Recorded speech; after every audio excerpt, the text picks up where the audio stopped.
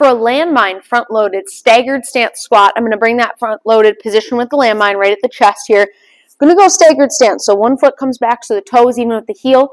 80% of my weight stays on this front foot. So my right foot here, as I perform my squat, that weight's going to stay on the front, press back up and through. Bar stays at the chest, drive through that leg, nice and tall at the top.